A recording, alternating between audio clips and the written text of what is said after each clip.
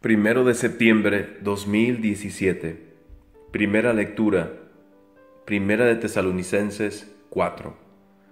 Hermanos, les rogamos y los exhortamos en el nombre del Señor Jesús, a que vivan como conviene, para agradar a Dios, según aprendieron de nosotros, a fin de que sigan ustedes progresando.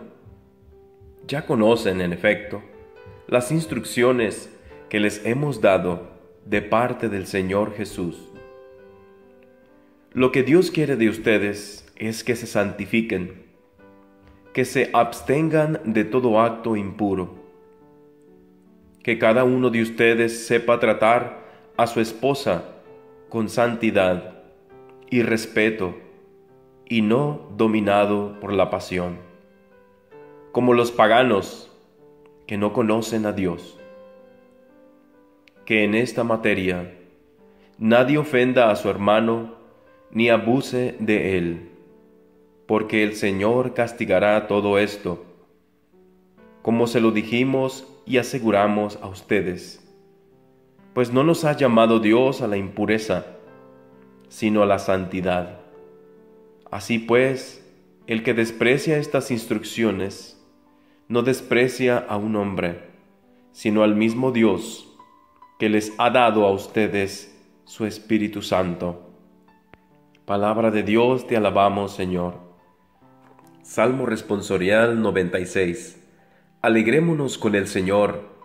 Reina el Señor, alégrese la tierra. Canten de regocijo el mundo entero. El trono del Señor se asienta en la justicia y el derecho. Alegrémonos con el Señor. Los montes se derriten como cera ante el Señor, ante el Señor de toda la tierra. Los cielos pregonan su justicia, su inmensa gloria ven todos los pueblos. Alegrémonos con el Señor. El Señor ama al que aborrece el mal, protege la vida de sus fieles y los libra de los malvados. Alegrémonos con el Señor. Amanece la luz para el justo y la alegría para los rectos de corazón. Alégrense justos con el Señor y bendigan su santo nombre. Alegrémonos con el Señor. Evangelio Mateo 25. En aquel tiempo Jesús dijo a sus discípulos esta parábola. El reino de los cielos es semejante a diez jóvenes, que tomando sus lámparas salieron al encuentro del esposo. Cinco de ellas eran descuidadas y cinco previsoras. Las descuidadas llevaron sus lámparas, pero no llevaron aceite para llenarlas de nuevo. Las previsoras, en cambio, llevaron cada una un frasco de aceite junto con su lámpara. Como el esposo tardaba, les entró sueño a todas y se durmieron. A medianoche se oyó un grito, ¡Ya viene el esposo! Salgan a su encuentro. Se levantaron entonces todas aquellas jóvenes y se pusieron a preparar sus lámparas. Y las descuidadas dijeron a las previsoras, Denos un poco de su aceite, porque nuestras lámparas se están apagando. Las previsoras les contestaron, No, porque no va a alcanzar para ustedes y para nosotras. Vayan mejor a donde lo venden y cómprenlo. Mientras aquellas iban a comprarlo, llegó el esposo, y las que estaban listas entraron con él al banquete de bodas, y se cerró la puerta. Más tarde, llegaron las otras jóvenes y dijeron, Señor, Señor, ábrenos. Pero él les respondió, Yo les aseguro que no las conozco. Estén pues preparados, porque no saben ni el día ni la hora. Palabra de Dios, te alabamos, Señor. Dios les bendiga, hermanos.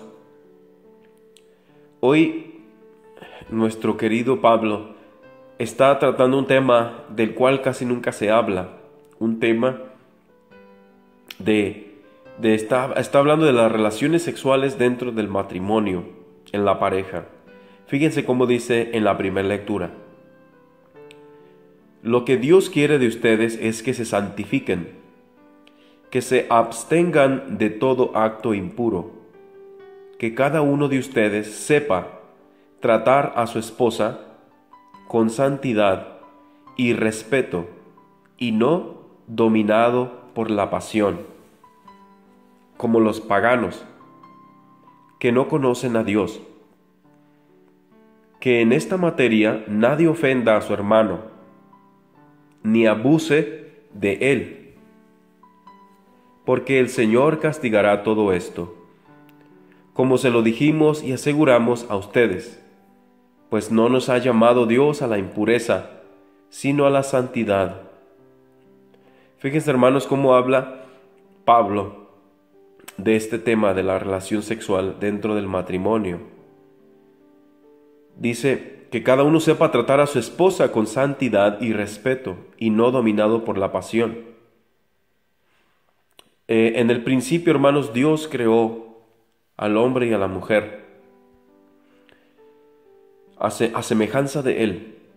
Y así como los animales, hermanos, tienen relaciones para procrear, así también Dios diseñó al hombre y a la mujer que tuviéramos relaciones para procrear, no para el deseo.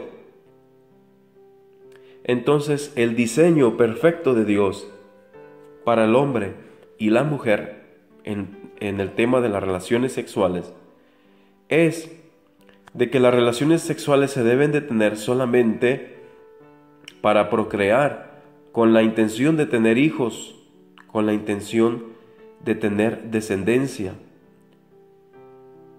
Desafortunadamente, los seres humanos nos dejamos llevar por la tentación, la pasión, la carne, y muchas veces eh, no hacemos lo que Dios, ah, como Dios lo había diseñado. Entonces por eso Pablo toma este tema en este día y dice, y no dominado por la pasión, como los paganos que no conocen a Dios. Dice Pablo que en esta materia nadie ofenda a su hermano, ni abuse de él. O sea, aquí está hablando de su hermano como hablando del prójimo, ya sea el hombre a la mujer o la mujer al hombre. Dice, porque el Señor castigará todo esto como se lo dijimos y aseguramos a ustedes. Entonces lo que pasa, hermanos, es de que en algunos matrimonios eh, pasa de que a veces el hombre quiere tener relaciones a fuerzas con la mujer y la mujer no, no quiere tener relaciones. Entonces es ahí donde Pablo está hablando sobre, dice, nadie ofenda a su hermano ni abuse de él o de ella. Si la otra persona no está dispuesta a tener relaciones, pues eh, se debe de respetar esa decisión. Y, se saben casos donde, donde la mujer se siente abusada, se siente eh, usada, utilizada, eh, porque así la trata el esposo. Entonces fíjese, cómo hasta Dios se preocupa de hablarnos de estas cosas que a veces nadie habla. Y, a veces a, los sacerdotes yo pienso que se les olvida hablar de esto, ah, porque a veces pues es un, es un tema un poco delicado, más que nada pues cuando hay niños, hay jóvenes en las misas, entonces ah, como yo sé que este video más o menos lo escuchan, eh, pues me imagino que la mayoría personas adultas, eh, de todas maneras tiene que hablar de estos temas porque son temas que casi nunca nadie habla. Entonces, si nunca nadie los habla y están en la Biblia, pues tenemos que hablarlos de vez en cuando, cuando sea necesario, para que así la gente se entere de cómo Dios diseñó a la pareja. Entonces, para resumir todo esto, Dios nos ha diseñado para tener relaciones solamente con el propósito de, de tener hijos. Y si no tenemos ese propósito de tener hijos, pues ya, ya lo estamos haciendo por placer y no por, no por amor a, a, Dios, no por amor a tener hijos. Eh, les quiero poner unos ejemplos de matrimonios que han vivido santamente. Eh, Ana y Joaquín, los papás de, de la Virgen María, ellos fueron un matrimonio santo. Obviamente sabemos que la Virgen María y San José nunca tuvieron relaciones, porque la Virgen María fue virgen antes del parto, durante el parto y después del parto. Entonces eso quiere decir que ella nunca tuvo relaciones con José, porque ellos fueron santos los dos. Ellos vivían en tanta santidad que ni siquiera les pasaba por la mente eh, pensamientos impuros, pensamientos de pecado, pensamientos de la carne. Porque estos dos santos, la Virgen María y San José, estaban tan llenos de Dios, tan llenos de gracia, tan llenos del el poder de Dios, que ni siquiera, ni siquiera les pasó por la mente, ni siquiera una vez, tener relaciones porque ellos eran como ángeles, como, casi como ángeles. Entonces, así como a Jesucristo, como Jesucristo nunca pecó, tampoco la Virgen María nunca pecó. Y sabemos que San José era un santo, entonces ahí había tanta santidad, tanta la presencia de Dios, la presencia del mismo Jesús que Él estaba allí en medio de ellos, que ni siquiera el demonio se atrevía a meterse en sus pensamientos, en la lujuria, en la impureza, en, en cualquier otra cosa, porque había tanta santidad en ese hogar que estaba la viva presencia de Dios, que era Jesús en medio de ellos. Podemos ver otros santos también, San Isidro Labrador y Santa María, en el país de España en el siglo XI. Fueron dos santos que tuvieron fueron un matrimonio y tuvieron un hijo.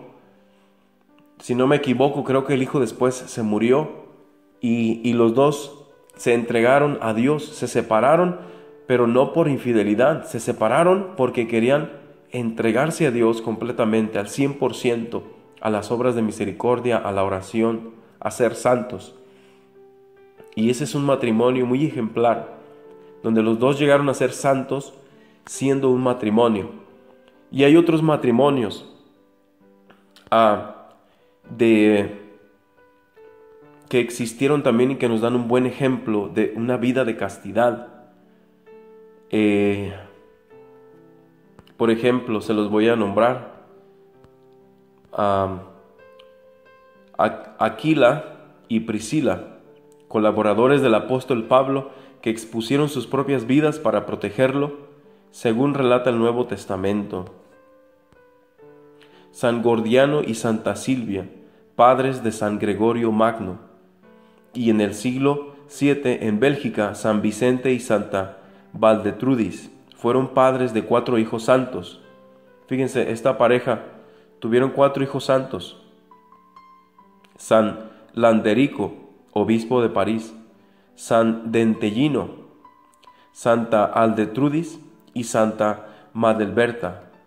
Imagínense, hermanos, dos santos, una pareja de esposos que tuvieron cuatro hijos y los cuatro fueron santos. Entonces al último terminaron siendo los seis, la familia de seis santos. Y, así hay otros santos también que, que han vivido en Italia, a Luigi y María Beltrame, Quattrochi, una pareja que contrajo matrimonio en el 1905. Tuvieron dos hijos varones que se hicieron sacerdotes y dos hijas mujeres. Una de sus hijas se casó y la otra se hizo religiosa. Tres de sus hijos asistieron a la ceremonia de beatificación. Imagínense hermanos, el Señor Jesús nos invita a vivir en santidad, si es que se puede. Si no se puede, pues ni modo. Pero si tú puedes Tratar, trátalo y ponte de acuerdo con tu pareja. Platica con ella. Si, la, si tu pareja no está de acuerdo, pues ni modo, no se puede.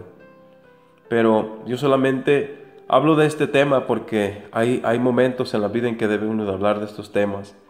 Y si hay una pareja que está tratando de seguir a Dios, y si lo pueden hacer, pues gloria a Dios. Si no se puede, pues de todas maneras Dios nos sigue amando, Dios nos sigue queriendo, Dios nos sigue perdonando. Pero eh, solamente quería tocar este punto para, para que sepamos con qué fin hizo Dios al matrimonio. Dios los bendiga. En nombre del Padre, del Hijo y del Espíritu Santo. Amén.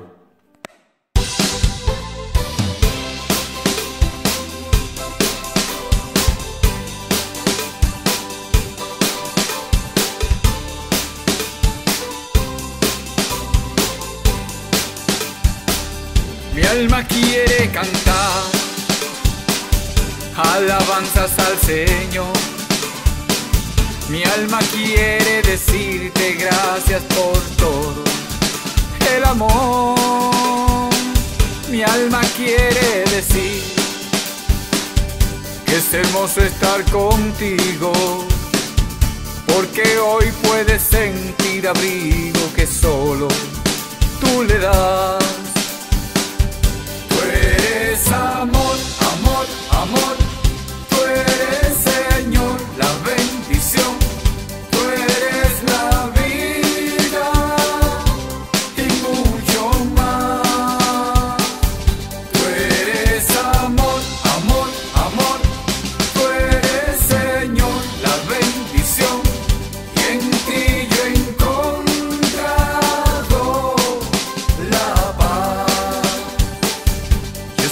solía desesperar ante cualquier tropiezo.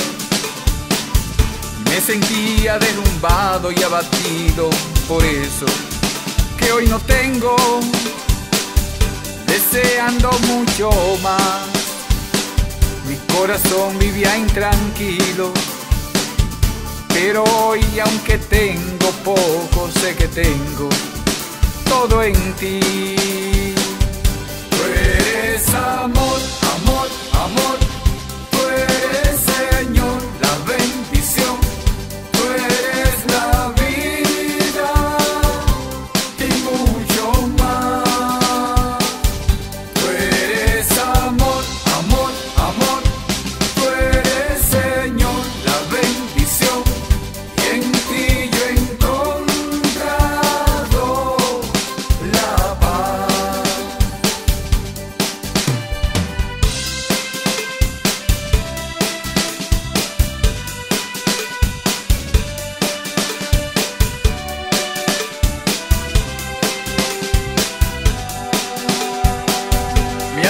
Quiere cantar alabanzas al Señor.